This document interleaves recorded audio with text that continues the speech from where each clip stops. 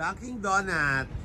Let's go at puntahan natin ang bagong tayong Dunkin' Donut in Alnada. Love, love, love.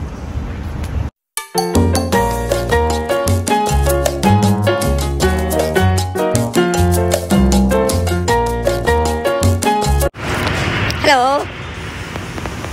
Dunkin na. Donut pa. Hi guys, I'm here in the...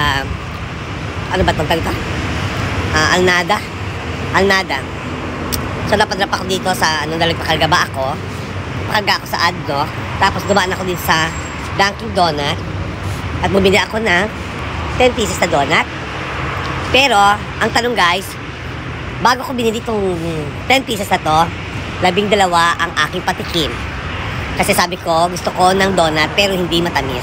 Pero ang nangyari, pinatikimin niya ako ng Dunkin Donut. Then syempre, naiya naman ako, naka-11 ako.